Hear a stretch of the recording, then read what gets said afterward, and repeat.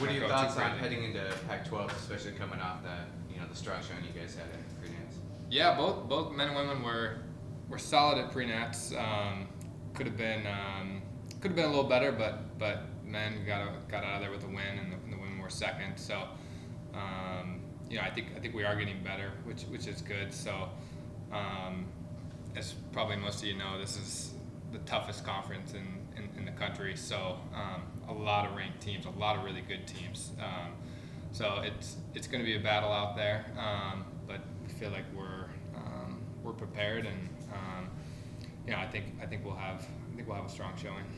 You mentioned that they could have done a little better. Can you talk more about that?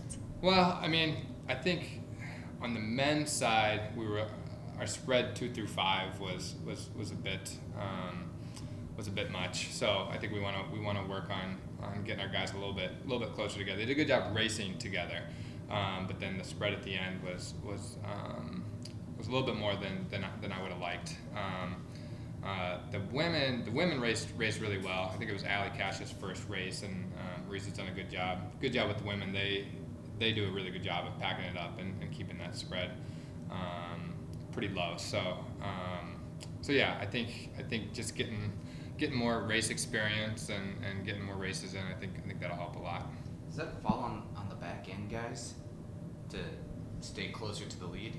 Yeah, yeah, and, and I think um, yeah, those are the guys that need to need, need to step it up, and you know I think that time of the year, even right now, we're still training really hard. So some people respond a little bit differently um, when, when you're training hard. Some some do a better job of, of running tired. Um, Matthew Maton did a good job of, of running uh, running well when he was tired. I think I did a good job. So.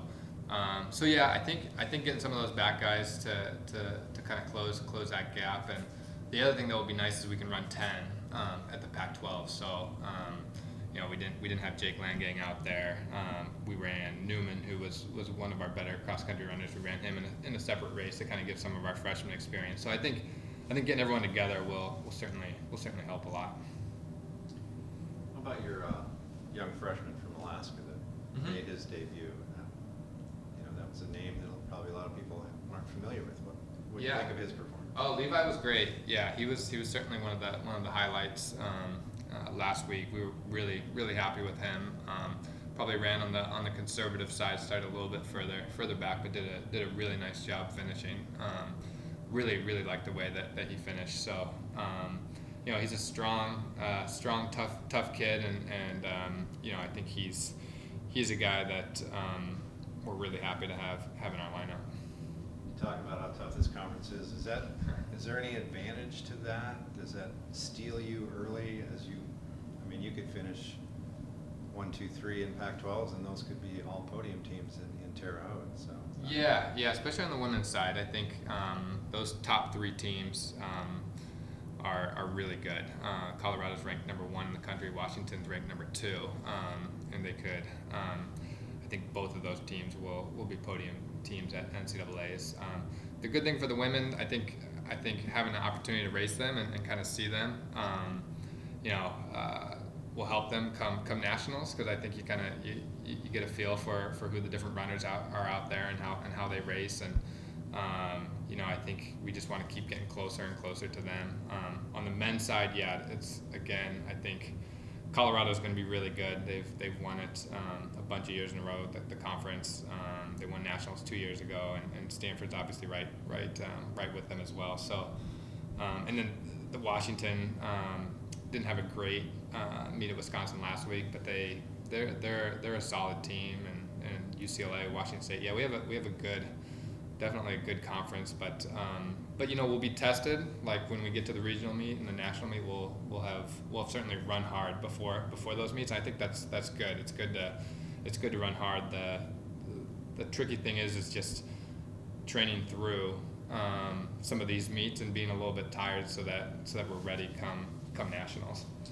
What's the what's the biggest difference with Matthew this year versus last year?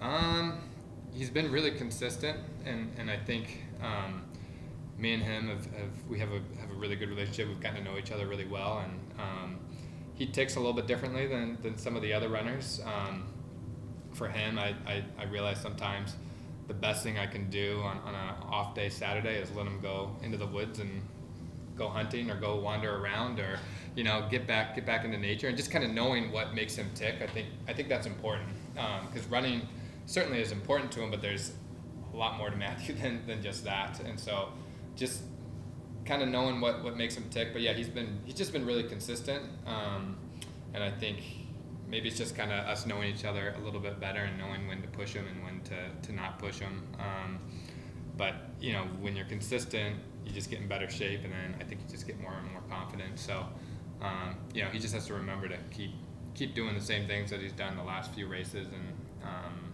try to change things. You know, from from one race to the next. When you say consistent, you're talking about training, eating, schoolwork, just sleep, everything. Everything, yeah, and I, and I think, um, but really, yeah, the training just just he hasn't missed any days this this year, so he, you know, I'm sure there's days coming where where something will come up and you just, um, that was me knocking on wood, too, not someone at the door, but, um, but uh, but yeah, I think it's just I think it's just, um, I mean, in, our sport, when you have these three, you know, three three seasons in a row. Um, the biggest challenge that, that we have as, as coaches is just keeping them consistent and trying to keep them running as many consecutive days as possible and, and giving them the appropriate amount of time off in between the seasons. But um, in distance run, if you can stay healthy, if you can run day in and day out, like, and you can do that for a long period of time, that's that's that's when you really get um, the big the big reward, the big benefits. Um, but yeah, just really really happy with with um, with how he's progressed.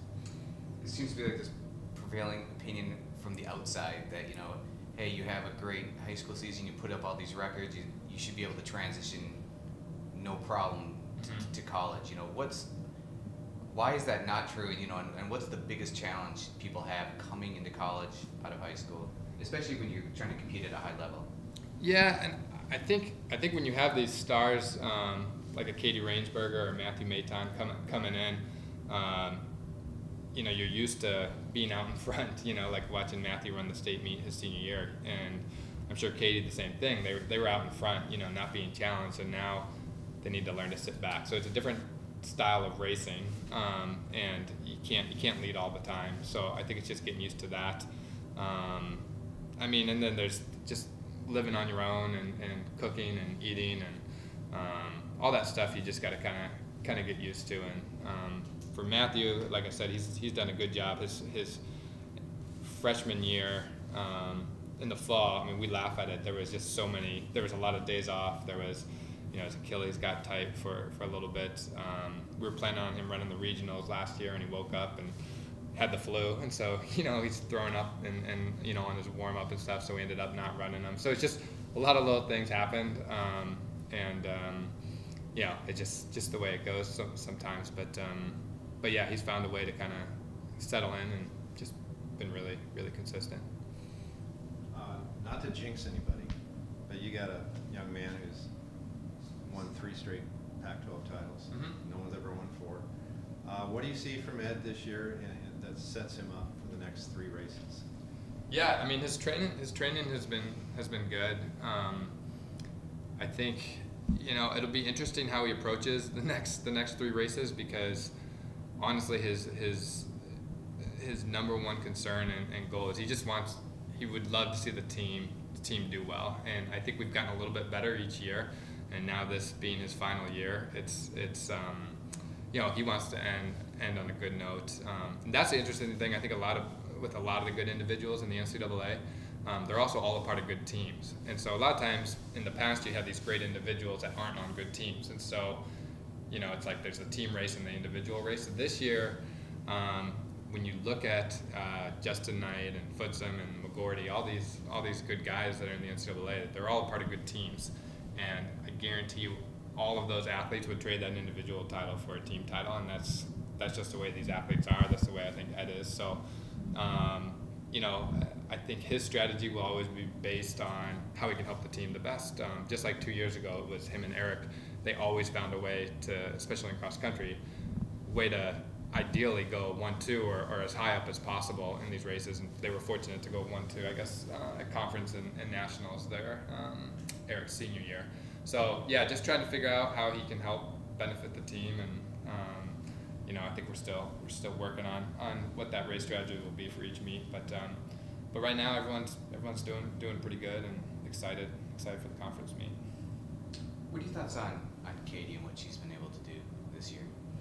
Yeah, well, I mean, Maurica, she should be the one probably talking more more about her, but um, but she, Maurica's done a really good job with Katie. I think I think they've just they bonded and really got to know each other well in the recruiting process, and and um, I think Maurica had a spent a lot of time with her before she she got here. Just um, I guess in that recruiting process, so they they've known each other well, and um, I think Katie just has this this maturity where she just kind of knows that it's a process and she needs to just kind of get better each week and get better you know throughout her time here at Oregon and she's she's okay kind of sitting back in the pack with her teammates and then and then finishing finishing strong and um, a lot of freshmen that, that have come in and, and maybe won a lot of different NXN titles and stuff like that it's hard for them to understand that you know um, like they want to be up in the front they want to they want to always try to feel the race like like try to be able to win the race or be able to feel it, you know. So it's hard to sit sit back like that. But for whatever reason, um, Maurica has been able to help her understand that hey, you know, if you can finish X amount of place and not necessarily win, it's, it's a big deal. And I think she understands that. So Katie's Katie's done, you know, she's done a really good job.